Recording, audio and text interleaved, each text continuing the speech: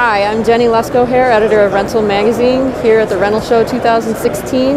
I'm in the Genie booth with Karen Stosh, and she's going to tell us about the new Z60/37DC electric articulating boom lift. And Excellent. What, what, can you tell me about this machine? well, Genie's really excited to introduce this machine. This machine was designed all about maximum performance in an electric machine.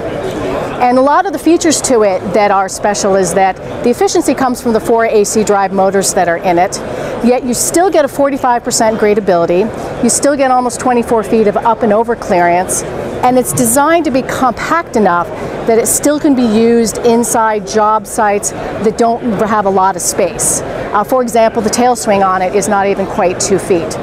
So it's a great machine, a very powerful all-electric machine that is great for indoor uh, applications.